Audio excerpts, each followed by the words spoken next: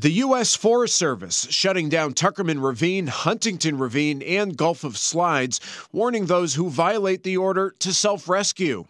One of the volunteer teams that the agency calls on for search and rescues is concerned about COVID 19. This is a risk that we're dealing with now that's nothing like we've ever dealt with. Stephen Dupuy of Mountain Rescue Service helps stranded or injured hikers in the most difficult terrain in the most difficult weather.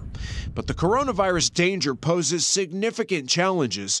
There are 45 members on his team, but because some are high risk, they now only have about a dozen readily available for rescue. So we're at, a quarter strength at the moment. During a rescue, there's no social distancing. They have to work shoulder to shoulder, and they're limited on PPE, about 20 masks left. At this point right now, uh, would be exhausted on, on one call out. Dupuy asking people to enjoy marked trails in smaller areas. The mountains are still in full winter, and it doesn't take uh, you very far to walk before you're in snow that's knee deep. New Hampshire Fish and Game says all it takes is a simple injury while hiking or backcountry skiing to potentially expose a whole group of rescuers. We're recommending take these epic hikes.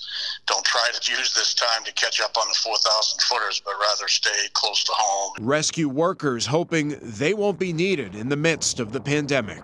Just understand how many people you put at risk if you need to be rescued. It's a tremendous number of people, and we can't respond quickly.